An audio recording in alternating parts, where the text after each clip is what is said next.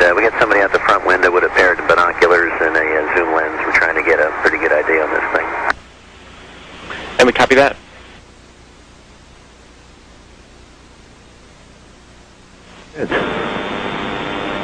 Houston, Atlantis. Go ahead.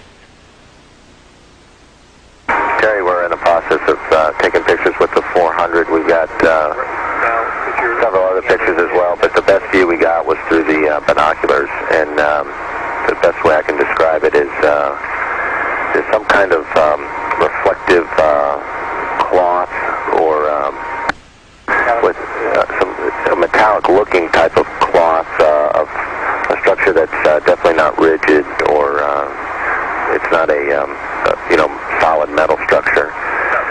It also has a uh, ground, some type of grounding strap coming off of it, a, uh, a copper line, uh, what appears to be a grounding strap. Doesn't look like anything I've ever seen on the uh, outside of the shuttle, uh, that's for sure. Okay, copy. That helps. Thanks. Okay, the uh, I don't know if you guys are still tracking it with the camera. We actually can't see it anymore, Brent. Okay, it started over uh, window 8, uh, then quickly uh, moved towards the nose of the orbiter, um, and we tracked it through windows uh, 1, 2, 3, 4, and uh, now it's out sort of out window 5. It's moving away. The fo- last focal length we had was uh, well over uh, 100 feet, an opening. Okay, copy that.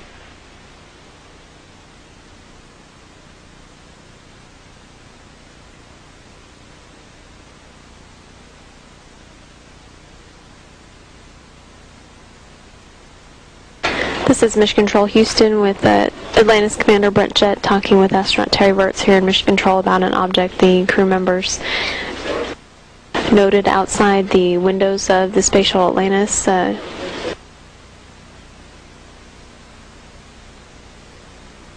Jett describing it as some kind of uh, reflective or metallic looking cloth, but definitely not a rigid or, or metal object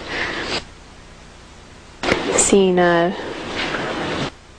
moving away from the space shuttle at least 100 feet, in his words.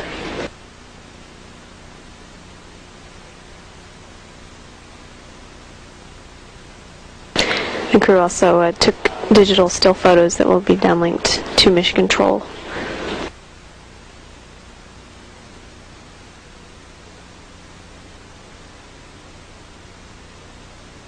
This is Mission Control Houston now at the mission elapsed time of 10 days, 20 hours, and 21 minutes. This view of uh, the Space Shuttle Atlantis looking at the robotic uh, arm operations with the shuttle robotic arm attached to the orbiter boom sensor system to continue uh, inspections of Atlantis to ensure that it is in good shape for landing tomorrow.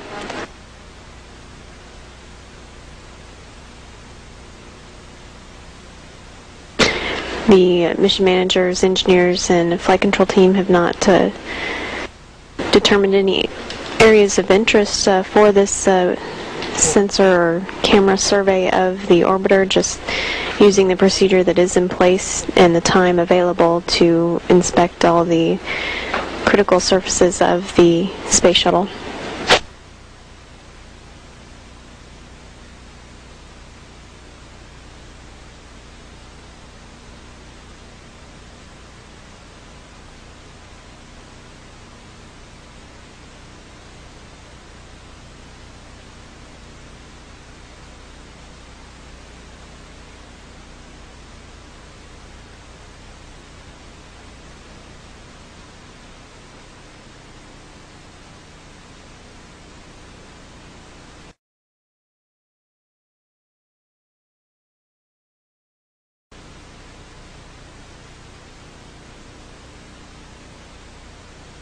The instrumentation communications officer here in Mission Control operating the payload bay cameras with the reflections in the uh, camera lens as uh, it looks past the Space Shuttle Atlantis. Uh, digital downlink. Uh, we do see that. Okay. That's uh, looking out in front of the orbiter. We're seeing three or four objects. Uh, can you can you confirm that it's just the one that's actually moving? The other ones are just reflect reflections. No, there are uh, there are three objects. The one you see, you see two rings right there. They're the ones we kind of had the late tally ho on.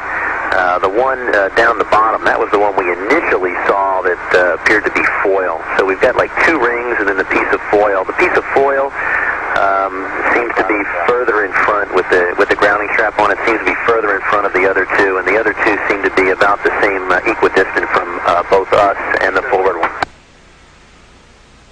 Copy that.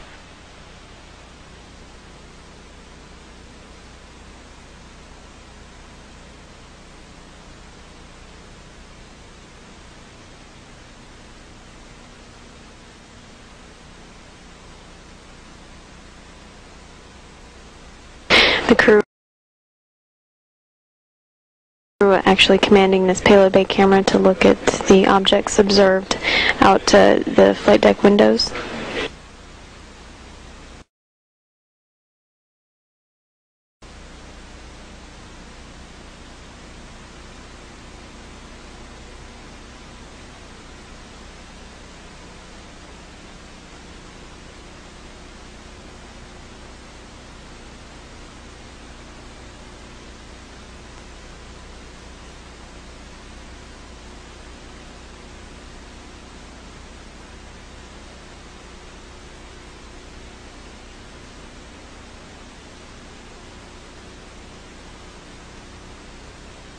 Houston, Atlantis. Go ahead. Yeah, I'm just wondering uh, how close we are to the trajectory flown by the Soyuz.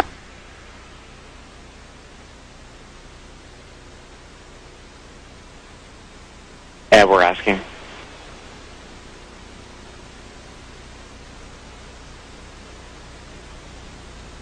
We're going to check on that, um, but while we're waiting for that, we're thinking based on our daylight and KU availability, if we can get back to the OBSS inspection and maybe use the uh, still cameras to photograph these objects. Yeah, we understand. Uh, we'll, we're getting back to OBSS. Thanks.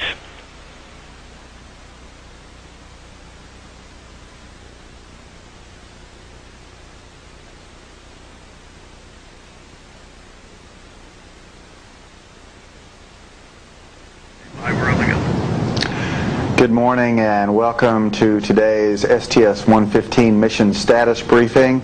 With us this morning are uh, Entry Flight Director Steve Stich. Uh, also with us is STS-115 Lead Flight Director Paul Dye. Both these gentlemen just coming off console after a day of inspections. We'll go with statements first and then move on to questions. Steve? Uh, Thank you very much, Kelly. Um, let's see, uh, talk a little bit about what we what we did today. Um, uh, today, of course, yesterday when we, we talked, we were talking about landing, and uh, as you well know, we saw an object yesterday, and uh, mission management team met yesterday, and we spent the time.